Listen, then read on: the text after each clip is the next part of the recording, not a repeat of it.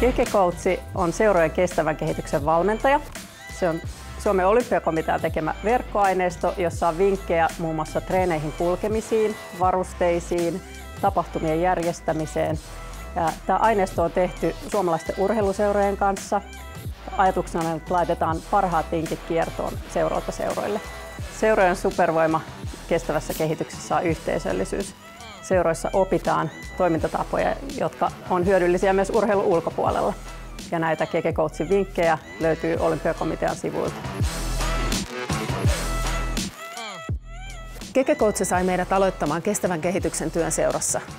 Olemme saaneet siitä runsaasti vinkkejä päästöjen vähentämiseksi. Ainutlaatuista Keke Coachissa on se, että pystymme sitä kautta saamaan tietoa ja myös jakamaan omia onnistumisia. Kestävän kehityksen työ on joukkuepeliä. Me Tapiolan hongassa haastetaan kaikki seurat mukaan tekemään kestävää urheilua.